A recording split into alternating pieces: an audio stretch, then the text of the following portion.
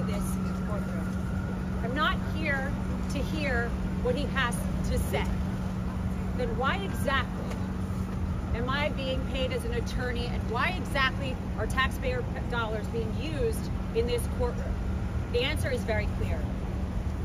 Because Miss James wants to stand right here like she did this morning and call my client a liar, call the company fraudulent, and make a name for herself. She said this morning that the numbers don't lie and they won't lie in this case. Well, Miss James, I have a message for you.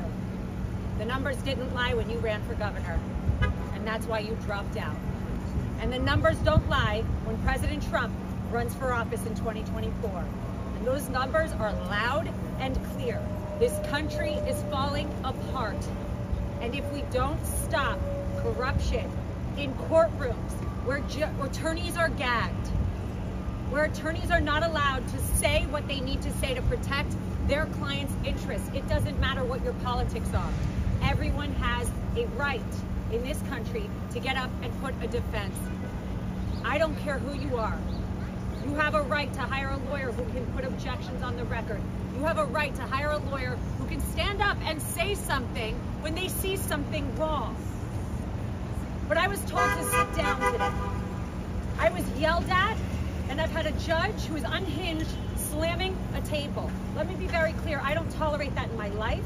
I'm not going to tolerate it here. And you know what? You shouldn't either. Because not every American citizen gets a camera and a microphone. And what I'm seeing is such a demise of American judicial system and democracy.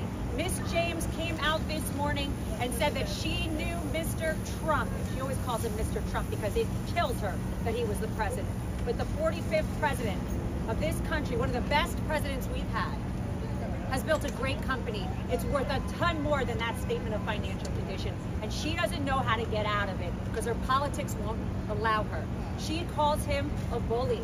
She says he's going to bring out racial slurs. He's going to say things today and taunt her. Well, Miss James, you taunted him.